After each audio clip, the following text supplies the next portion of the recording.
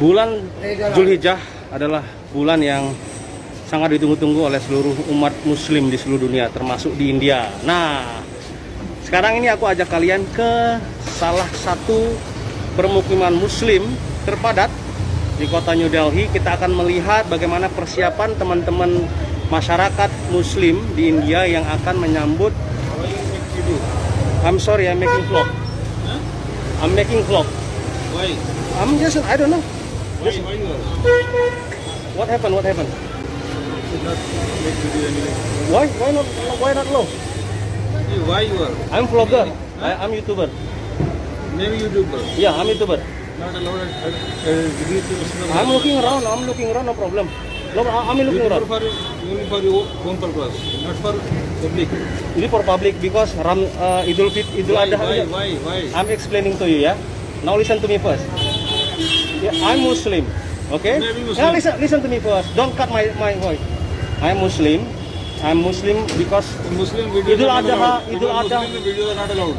if, you're, if, you're, telling you're Muslim, then videos are not allowed dia bilang Idul Ad- kalau Muslim itu nggak boleh buat video. Jadi aku kasih tahu. You know? Yeah. Photography haram. Haram. Yes. Oh haram. Buat fotografi You video. are not Muslim. You are not, you don't know the, what is the meaning of Muslim. Because I'm Safi'i. I'm Safi'i. Maybe Shafi'i Oh, we have different different. I'm Safi'i. Safiyah, you are Hanafi, huh? Not, you are covering other things. You are not covering your symbol. Sir, brother, brother, listen. I'm following Safi'i's. Shut down yours. No, no, it's my right. It's my right. I'm going. I'm going, no problem. Won't be here. Yeah, I'm going. I'm going, no problem. But don't. It is my right to make vlogging. Your right is only up to you. You not, not, public. you not giving me chance to speak. I haven't taken any permission No. to make me. to Everyone make have right.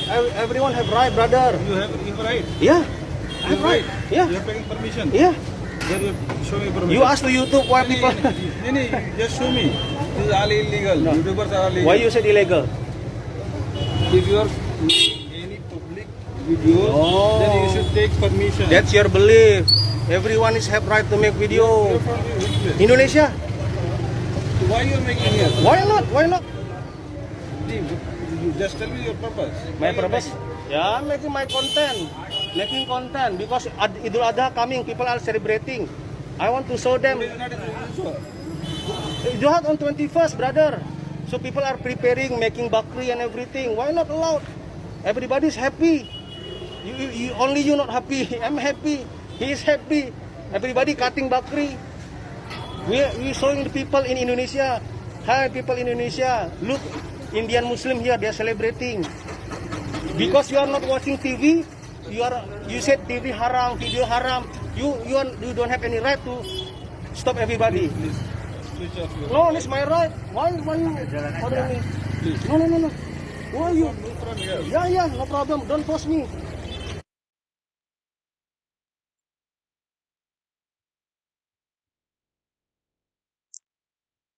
Jadi itulah tadi kawan eh, video ya. Ini kayaknya video lama ya. Ya kayaknya ini video lama. Tapi ini saya tertarik untuk membahasnya. Ini posisi di India menjelang Idul Adha. Kalau kita lihat videonya tadi, bahwa yang dari Indonesia ini adalah dari Masaf Syafi'i ya. Masaf Syafi'i. Kalau yang dari India ini Masab Hanbali.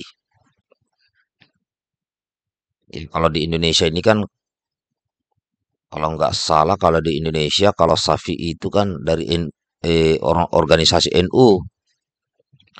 Kalau Muhammadiyah ha, dari Masab Hanafi.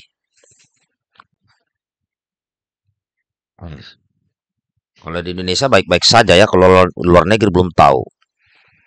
Maka saya bertanya, apakah Islam memang ini tidak bisa bersatu karena beda mazhab?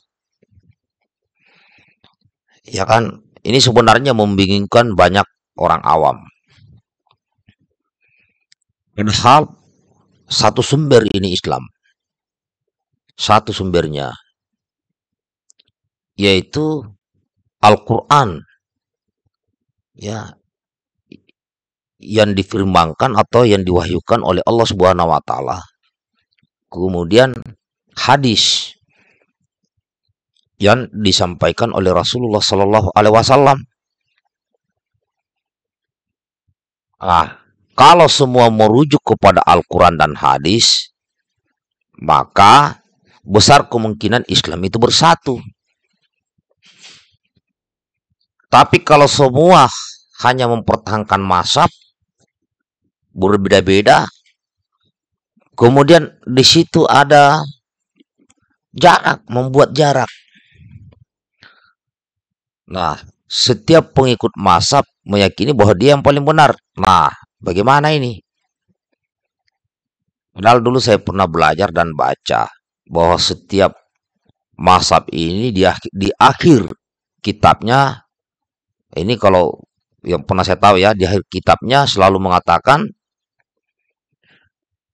jika ditemukan sebuah hadis maka apa yang menjadi ru'yakku hasil pemikiranku batal. Jika ditemukan sebuah hadis terkait suatu perkara. Dan beliau-beliau yang masab ini yang mencetuskan masabnya ini adalah keempat masab atau imam ini mengat, beliau katakan ya beliau berlindung dari dosa karena sudah berlindung dari e, dosa karena ru'yanya atau hasil pemikirannya. Sudah mau memaaf sudah meminta ampun lah.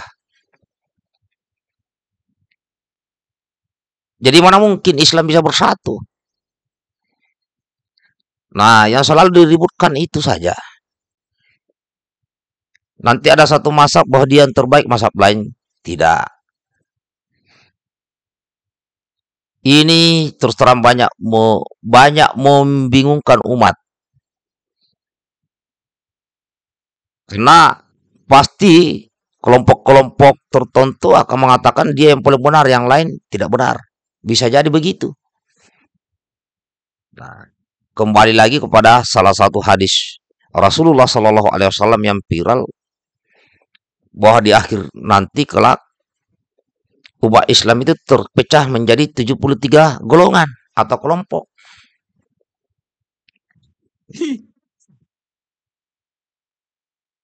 Satu eh, di antara 73 golongan ada satu golongan yang langsung masuk surga ada satu golongan yang di neraka selamanya.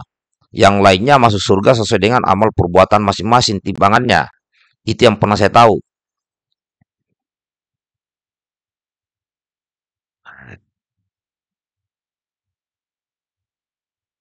Siapa yang paling benar? Ya, kalau pemikiran saya, logika saya yang paling benar adalah yang menjalankan ajaran agama yang ada di dalam Al-Quran dan hadis tanpa harus menjelekkan di luar itu. Ini yang dalam Islam ini. Satu kitab loh. Nah kalau yang Kristen saya lihat jarang saya lihat tuh mereka ribut-ribut baik yang Protestan maupun Katolik jarang ya tapi entah di tempat lain bisa jadi juga ada ribu-ribu begini tapi jarang saya temukan apalagi Hindu ah Nyaris tidak pernah saya dengar mereka ribut dalam internal agamanya bahwa dia yang paling benar. Mungkin di sini banyak ustadz atau ulama atau habaib yang nonton video saya ini. Coba diberikan penjelasan ini. Apakah kalau sudah mengikuti masaf Hanafi terus bertentangan dengan yang mengikuti masaf Syafi'i, belum lagi Hambali, Ya kan.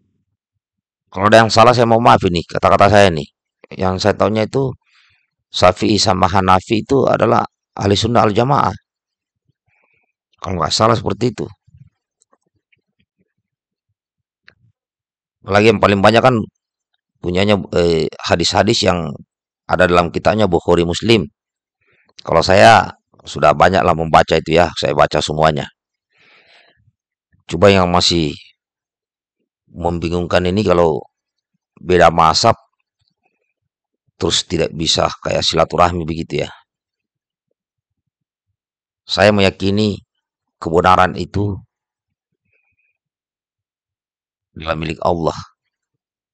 Semoga kita termasuk orang-orang yang meyakini kebenaran itu tanpa harus menyalahkan orang lain. Demikian kawan, baikkan videonya. Assalamualaikum warahmatullahi wabarakatuh.